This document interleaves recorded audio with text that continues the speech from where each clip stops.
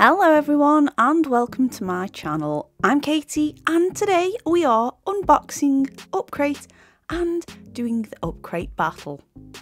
Before we get into things, if you haven't already, please make sure you have subscribed and have those lovely notifications turned on so you don't miss any more videos like this one. So let's get into it, shall we? Well, it definitely doesn't look like pencils because please no more pencils sticker, which I thought was hilarious. I noticed we have some Spectrum Noir pens, a little variety pack there. But the most unusual thing is oil paints. We also have a gesso board, a rag to clean the brushes on, two brushes, a metallic paint palette, as well as stickers and print. This month's featured artist is Clementine St John Webster and I really like that painting. I love all the different tonal values there and it will be going on the wall with all my other prints when I move house. We also get some hints and tips to use our materials in the magazine. And of course, the lovely sticker sheet. Right, let's talk about what we've got then, shall we? The three markers that we have I've been given as a guess some sort of compensation for the coloured pencil box that we had.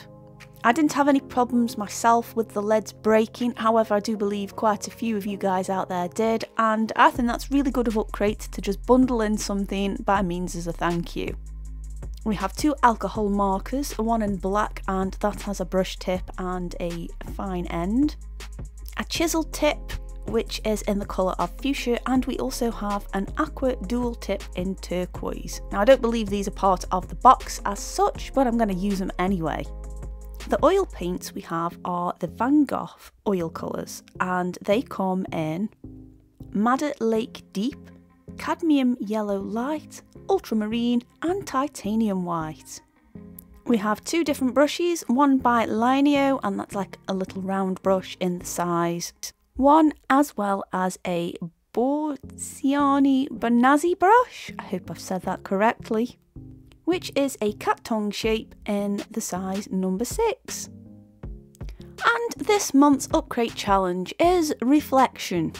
Now, I was massively debating whether to do this or just on unbox it, or I'm not really sure because oil paints can take forever to dry. But then I changed my mind and I thought, well, I might as well just do it, and I'm just going to have to find a way of transporting this wet painting when I move. I first started off by drawing a circle and working in the details inside. I'm actually going to use a bubble. I've used a reference of Pexels for this, and I thought that would be a great way to guess, I guess, create some sort of reflection. I used the Black Spectrum Noir marker to add a background colour. I didn't think I would be able to achieve something dark enough using the colours we had and I thought well at least we get to use them. The gesso board has a slight texture to it but I did find when I was going over it with that pen it was very smooth and there were no hiccups but it did take a couple of coats to have a really deep layer. You'll also notice that I pulled out my bottle of Zest-It which is used to blend coloured pencils but it also does mention wax and oil pastels so I figured well if I need to clean the brush that's what I'm going to use as I don't have any turpentine in at the moment. Using that ultramarine oil colour, I went and blended it in with that black background and I am really pleased with how that worked. I don't know if it mixed in with the alcohol marker beneath it and brought it to, back to life again. I'm not sure because I did move that brush onto some whiter areas of the board and there was no black smudging but I really like how it flattened everything out. I did this and covered in all of what I'm going to say is the negative space and then that leaves a nice fresh white background for those lighter colours. Now I do believe you are to use your very lightest colours last and your darkest colours first, so that's the complete opposite of watercolours, which I'm used to. Now, I have done oil painting in the past, quite a few years ago now, and I, I do enjoy doing it, and I have recently bought some water mixable ones which I wanted to show on this channel, but that, that's going to have to wait for a little while. I like oils because you can wipe any mistakes off and you can be pretty forgiven for making a few mistakes with them too. However, the downsides on using proper oils is the fumes. Now, I, I, can tolerate them for a while, however, I, I kind of don't like the idea of my dog breathing them in. So that's kind of why I don't use them very often and I went and purchased some water mixable ones. However, these will make their way up to my other studio once everything in my life is organised. The brushes that were in this box were lovely and soft and really nice to blend with. You didn't need to put a lot of paint on there either, just a small little blob on the brush has quite a huge colour yield which I guess I, I guess I forgot since the last time I used them. I really like the fact we had primary colours as well. I think that's so useful, especially as I imagine quite a lot of people haven't used oils or you don't use them very often. So this is a great, I guess, introduction to them. Okay, there is no black oil paint, but I think if you use those marker pens in a similar way and incorporate the paint on top, you can still achieve a nice painterly effect there. So at the moment, this bubble does look a little bit odd. It, it looks like, I guess, some random planet in a faraway corner of the universe, but this is where adding the reflections come in. After adding those base layers of colour in there, and again I didn't use a heavy coat, it was time to start adding those highlights and reflections. I used a neat white to go around the outline as well as just adding a few lens glares on there as well on various parts of the bubble.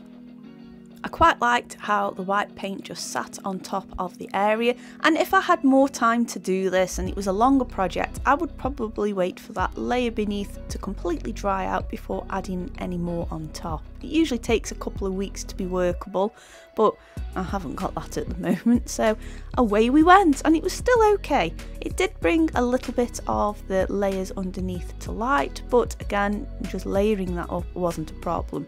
And you can see as well how easy it was to wipe a mistake off there. A little bit of white paint had contaminated my brush and onto the ultramarine and just using a q-tip to remove that it, it, was no problem at all and then I went in and blended the rest.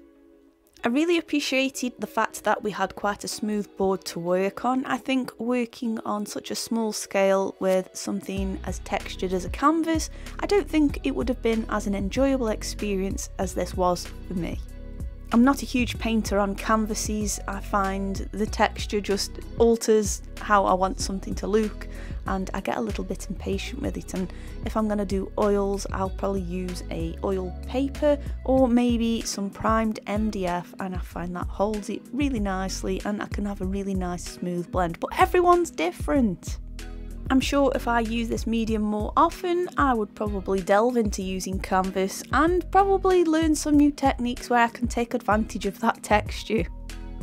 I really liked the little palette that came with this as well. Normally I would just leave it as is and let them colours dry. I think I've separated off the tones that I wanted, so I would just let it dry and then when it came to using it again I'd just top those colours up and add a bit of my terps or whatever mixing medium I was using.